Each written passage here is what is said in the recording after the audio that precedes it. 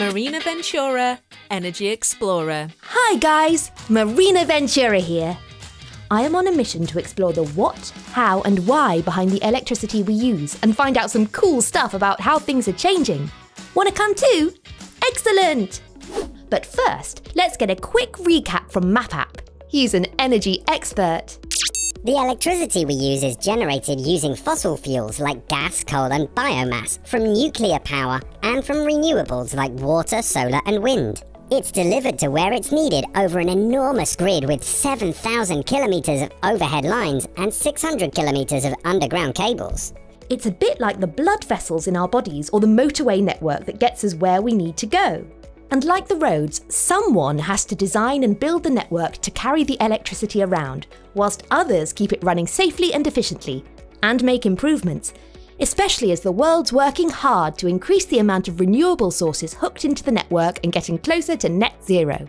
Right? That's right. We will have achieved net zero when the amount of energy we use is equal to the amount of energy we conserve. So, who are all these people and where do they work? There are several thousand people in the UK who work to keep the grid running smoothly.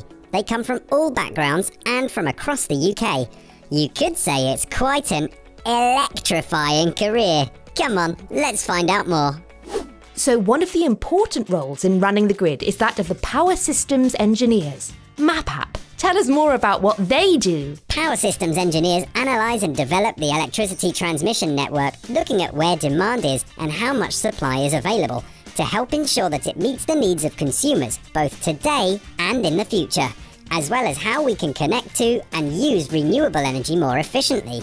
You might think all this analysis means climbing up pylons but it's more likely to be working in offices or laboratories where computer simulations can be used to try out different ways of doing things. How amazing is that? Any other cool jobs on the grid? Now, most jobs don't involve climbing up pylons, but some do. If you like getting hands on, there are all sorts of grid jobs maintaining the physical networks and structures that keep electricity flowing. It can be fun and greasy work. The only slight downside is working in the rain. But if you don't want to be stuck indoors at a desk, it could be just the job for you.